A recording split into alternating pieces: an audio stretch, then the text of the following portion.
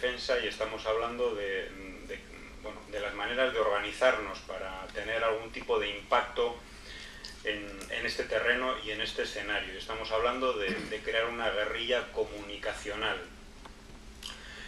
Eh, ha hablado Norelis eh, esta mañana de la necesidad, aunque sea un término ya muy manido, ¿no? de crear y fortalecer las redes. Y yo creo que esto hay que subrayarlo. Trabajar en red, tenemos que olvidar cualquier tipo de protagonismo, tenemos que, que prestarnos los materiales, tenemos que duplicar la información, no hay ningún problema y tenemos que dar nuestra experiencia para aprender de otras, de otras experiencias, de otros medios, de otros compañeros, de otros blogueros.